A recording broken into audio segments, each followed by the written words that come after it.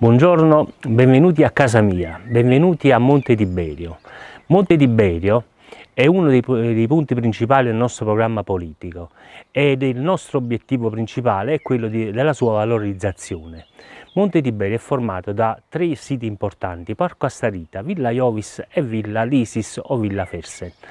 Parco Astarita che eh, fu riaperto a pubblico anni fa eh, fu uno dei miei primi eh, interventi presso la sovrintendenza per una convenzione.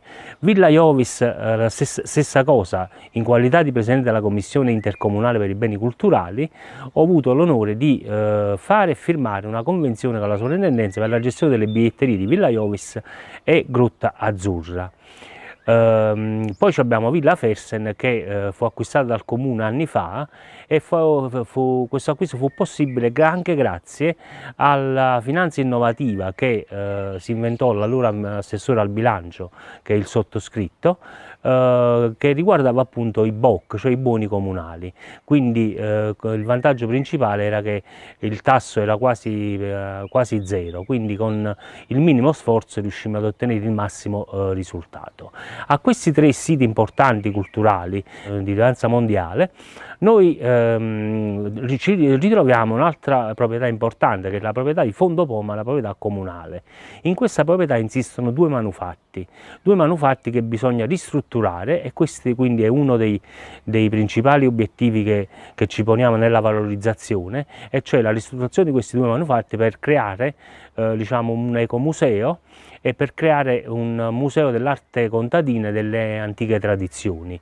Questo creerà nuovi posti di lavoro e soprattutto permetterà a giovani di interessarsi anche diciamo, a questa zona particolare che è la zona di, eh, di Tiberio. Um, in questo fondo Poma dobbiamo ricordare che ogni anno, ormai da 100 anni, da oltre 100 anni, si tengono i festeggiamenti della Piedigrotta tiberiana, che è una festa in onore di Santa Maria del Soccorso, che è la Madonnina che eh, è presente in, in Villa Iovis e quest'anno ricorre appunto il, ricorrono i 40 anni dell'apposizione della nuova Madonnina che l'altra fu distrutta da un fulmine, quindi grandi festeggiamenti quest'anno per la Madonna del Soccorso.